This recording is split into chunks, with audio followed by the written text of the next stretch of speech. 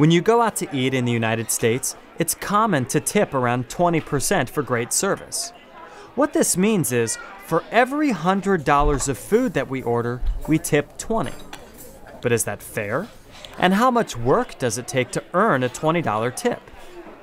In an expensive restaurant, a server might not have to do much to deliver $100 worth of food.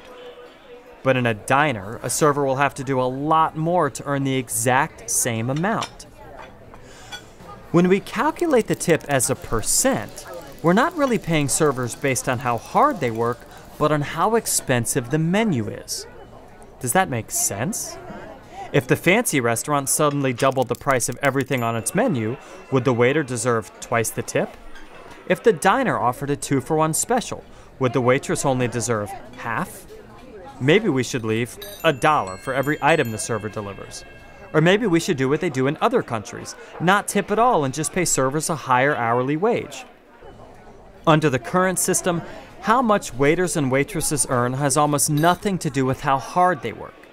So when you go out to eat, what do you think is the best way to tip?